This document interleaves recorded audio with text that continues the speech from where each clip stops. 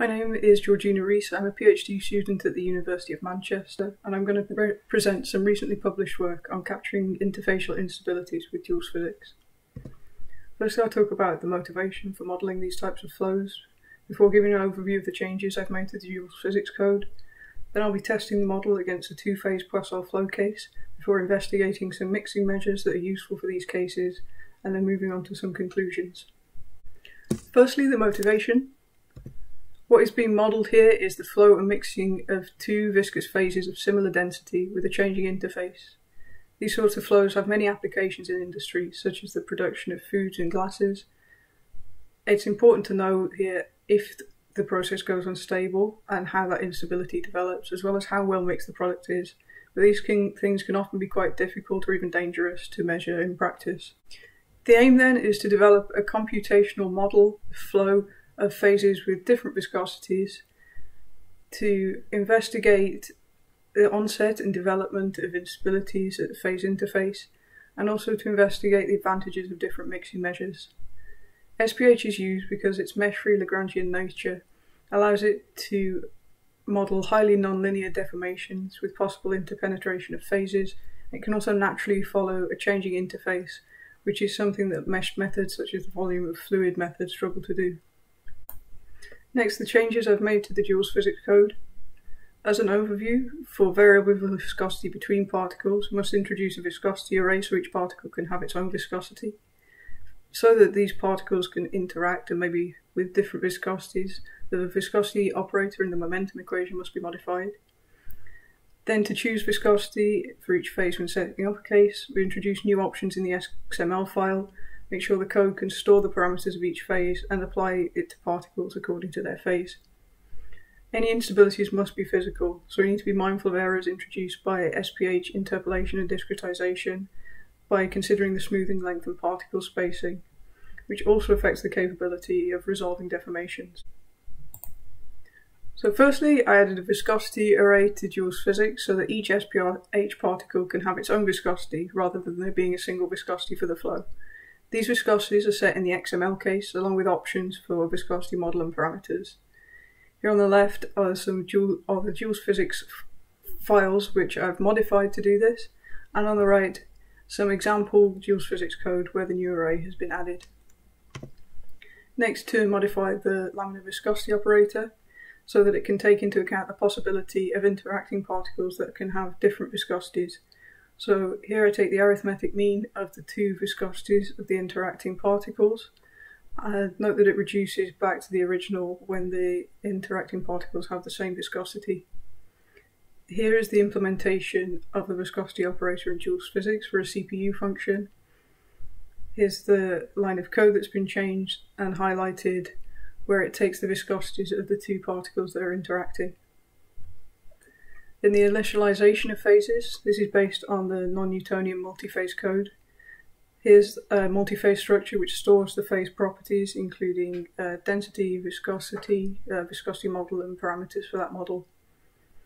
On the right, we're specifying the phase properties in an XML case file in the special section for a corresponding MK fluid. And here are the properties that are specified. Also, there's a flag in the parameters telling us to use the viscosity phases option. Next, the phases must be initialized in DualSPHysics. So we loop over all the particles, uh, look up what phase they're in, and then set the density and the viscosity according to their phase. The figure on the right here shows that the viscosities have been applied to each phase as in the XML example, with MK fluid 0 having viscosity 0.1 and MK fluid 1 having viscosity 0.05. I use the two-phase Poiseuille flow case for validation of this model. Here's the case setup where I've got fluid flow along a channel with periodic boundaries as with the single phase and it's driven by a constant body force. The channel is split into two phases of the same density but different viscosity and they can also have different widths. There's two key parameters here which is the phase viscosity ratio and the phase width ratio. Here's an example of a velocity profile across the channel. You can see it's not symmetrical when the phases have a different viscosity, with the maximum being in the less viscous phase. Uh, it's nice and close to the analytical solution and also displaying the same behaviours. In particular, there's a discontinuity of the velocity gradient at the interface. done a convergence study for this case.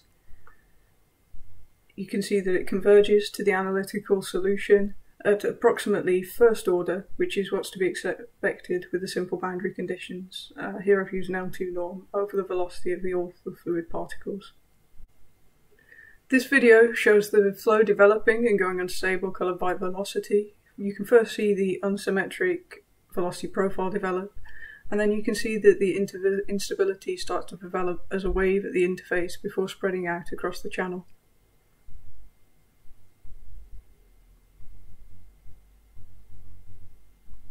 Now this sort of long wavelength instability occurs when there's a discontinuity in the velocity gradient at the interface, as in the first velocity profile I showed.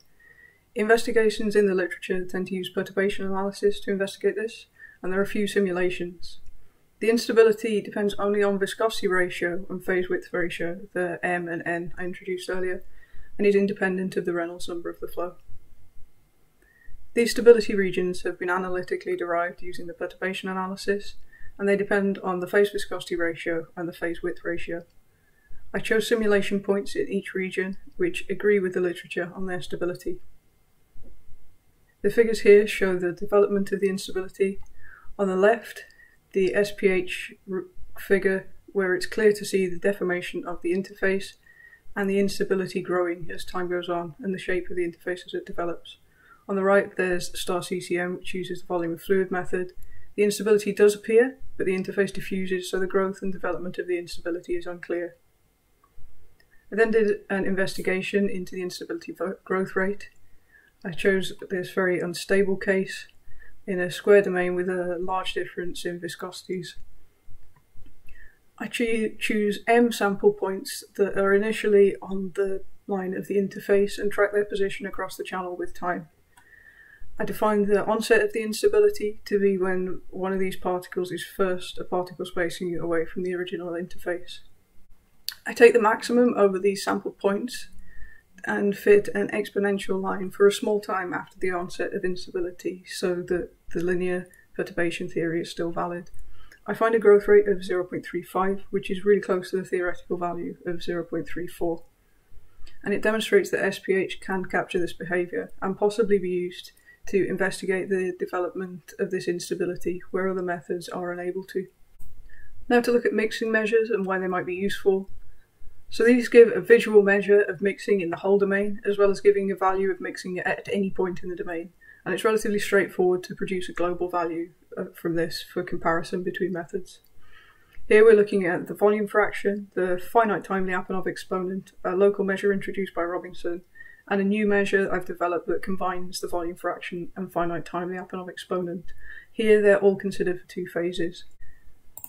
I shall quickly introduce the lid-driven cavity case to show these measures on. As in the single phase case, there's a square cavity with flow driven by a moving lid, but here the fluid is split into two phases with different viscosity and the same density as before. There's little literature on this case, but it does highlight the advantages of these measures since it shows regions of mixing and separate phases. First up is the volume fraction, which gives easy comparisons with, say, the volume fluid method. You can see here where either a single phase or both phases are present, but you can't see the relative movement of particles. The finite time Lyapunov exponent shows the movement of particles through a, a maximum ratio of the distances of particles that start close together. It gives a good understanding of the flow structure so in particular it can be useful for single cases, but you cannot see the distribution of different phases or how well mixed they are. Next, Robinson's local measure, which I adapted to use the volume fraction. It highlights where the local volume fraction is close to the overall volume fraction, therefore where mixing has occurred. But it does not show uh, relative particle movement again. So then I developed a new measure which aims to take these advantages of different measures that we've just looked at and combine the normalized volume fraction and FTLE to show where both phases are present and where there has been large relative movement of particles. It looks generally similar to the Robinson measure, so we're getting all of that information, but also we can note that there's a region here with lower value since the particles here have moved less relative to each other than other areas of mixing. To conclude, I've introduced a model that accurately computes the two-phase Poiseuille flow velocity profile, the onset of interfacial instability in this case, and also the growth rate of this instability. You can clearly see the deforming interface, which gives potential for future work. I've also investigated the advantages of different mixing measures and developed a new measure for understanding the mixing and flow of two phases. Possible future work would be to investigate further this two-phase Poiseuille flow instability development using the capabilities of DualSPHysics. Also to model more cases with this model with different viscosity models in each phase. And there's the potential to add these mixing measures to DualSPHysics processing uh, the volume fraction is good for comparison with other methods. The FTLE gives information about flow structure, and this new measure gives an understanding of mixing in two-phase flow. Here are the references that I've used in the presentation. Thank you very much for listening. If you are interested in this work, I published a paper on it last year that's marked here. Thanks.